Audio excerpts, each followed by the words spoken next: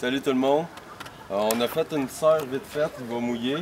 Ça, c'est nos bacs en fait, c'est de la laine de roche, dripper, euh, un peu dripper NFT avec euh, des drippers, avec des black and white. À l'intérieur, c'est noir.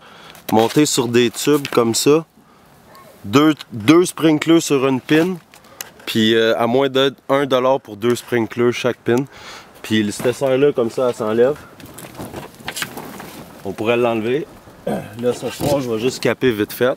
C'est trop flexible d'une demi, je conseille du 3 quarts là, minimum. Fait que ça, c'est nos fraises, on les a plantées le 27 puis le 28.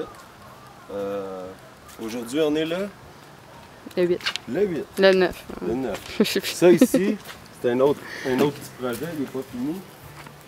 Euh, là, je vais enlever le frame de métal. Je vais- pour l'instant, ça va être juste du bois, comme ça, il va pouvoir durer plus longtemps cet hiver avec les clips tout.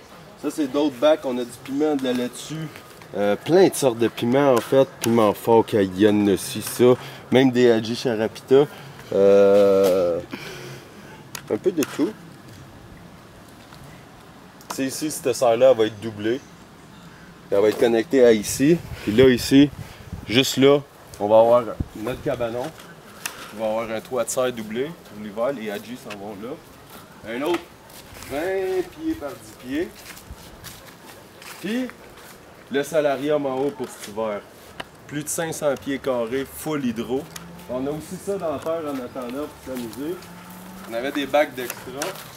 Fait que, euh, on a mis d'autres fraises. Merci, maman. Ça commence à être en fleurs. Maman, t'es plus dans votre Celui-là, il y avait un petit peu plus d'avance, là, 2-3 semaines. Mais on a quand même tout planté le 27. Puis ils sont déjà euh, pas mal tous euh, en fleurs. C'est ça.